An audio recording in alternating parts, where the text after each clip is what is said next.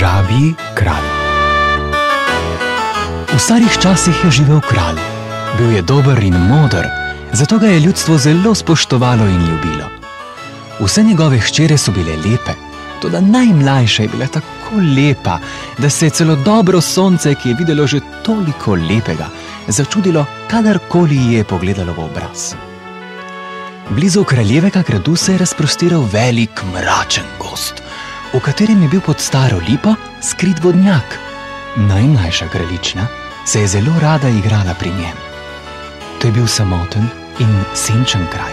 Zato je deklica ob uročih dneh šla v gost in sedla na rob vodnjaka, kjer je sanjarila. Poslušala je ptiče žvrgolenje, opazovala drevesne liste, ki jih je zibal veter, kdaj pa kdaj je videla tudi srnico, kako je urno skočila mimo.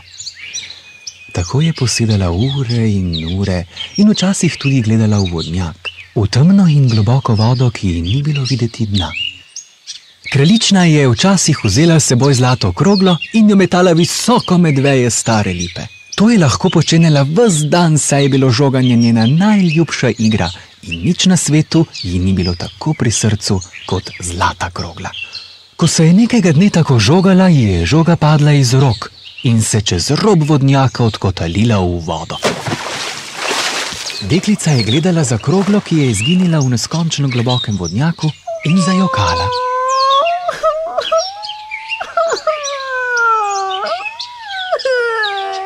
Jokala je britko in če dalje huje, ko je nenadoma neki glas vzkliknil. Kaj se je zgodilo, kraljična, da tako jokaš? Bleh. Deklica je zagledala žabo, ki je radovedno iz vode pomolila svojo veliko glavo. Kraljični je bilo tesno pri srcu, saj v tej črni vodi še nikoli ni videla živega bitja. Opogumila se je in povedala: Zato jočem, ker bi v vodo padla zlata krogla. Bleh, Molči in nikar ne tarnaj, lahko ti pomagam. Toda kaj mi daš, če ti prinesem zlato kroglo z dna?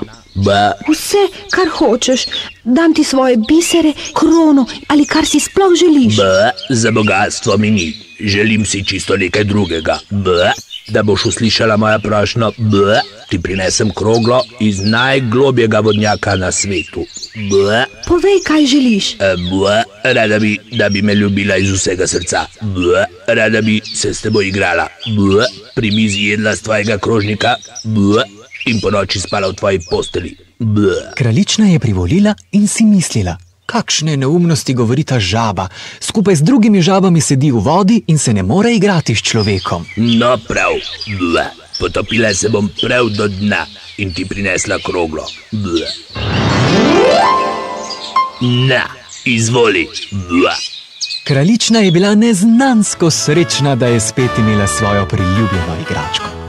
Hitro jo je pobrala in stekla proč od vodnjaka, za žabo pa se sploh ni več zmenila. Niti zahvalila se jim ni. Ble. Počakaj, počakaj me vendar, se ne morem tako hitro teči kot ti. Ble. Naj je žaba še tako kvakala za kraljično, je ta ni poslušala. Hitela je v grad in na žabo kmalu pozabila.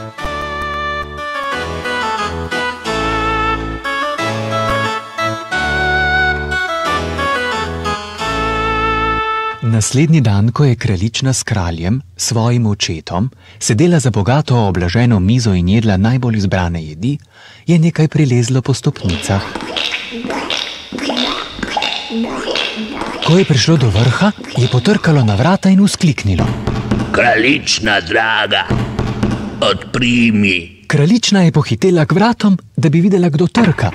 Ko pa jih je odprla in zagledala žabo, jih je vsa iz sebe od groze brž zaprla. Potem je brez besed sedla k mizi, oče pa je opazil njeno razburjenost. Otrok moj, zakaj se bojiš?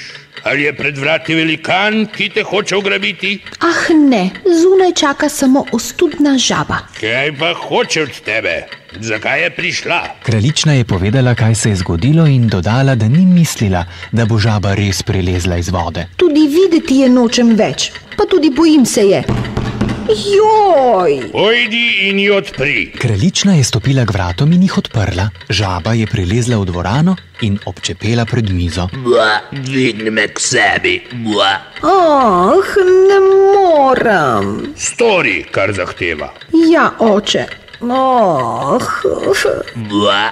Primakni zlati krožnik, da bova skupaj jedli. Bua. Kraljična je to storila, čeprav ne rada. Žaba je slastno jedla, kraljični pa je vsak križljaj obtičal v grlu. Bua. Zdaj sem sita in utrujena. Bua. Odnesi me v svojo spalnico, v svojo svileno posteljo.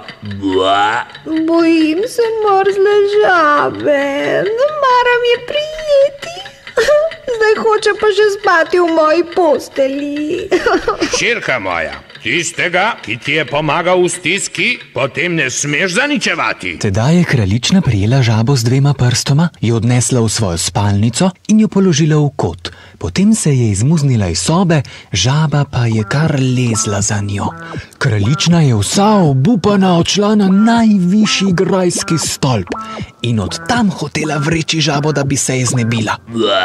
Kraljična, zakaj tako grdo ravnaš z menoj? Saj te vendar ljubim. Bua. Molči. Kraljična je počasi odšla proti svoji spalnici, ko je videla, da se žabe ne more odkrižati. Zlezla je v svojo razkošno posteljo, žaba pa je skušala splezati po svilini od deji na posteljo, vendar se ji ni posrečilo. Kraljična je kar drhtela od strahu. Bua. Kraljična, dovolj mi je tega. Hočem, da me vzameš k sebi v posteljo. Bua. Kraljična se je tako razjezila, da je pograbila žabo in jo treščila ob steno. Tako ti ogabna žaba, zdaj pa imaš, kar si hotela. Ko je žaba nepoškodovana padla na tla, jo je znova pograbila in vrgla ob zid. Tretjič jo je zalučala v ogledalo. In takrat je žaba izginila.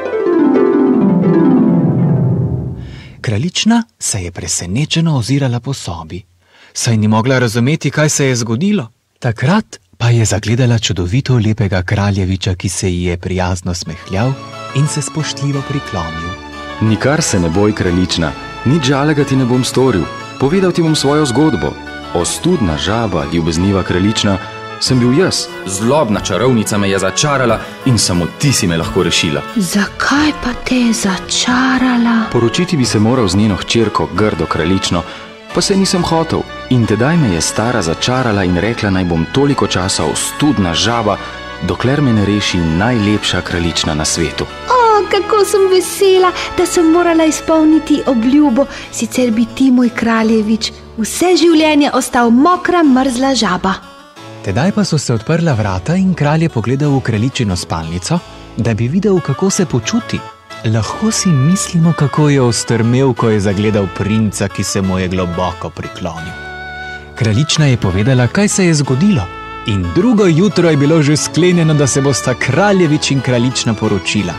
Vsi so se veselili, pred gradom pa je stal lep voz z belimi konji. Z njim sta se kraljevič in kraljična odpeljala v čudovito, daljno deželo mladega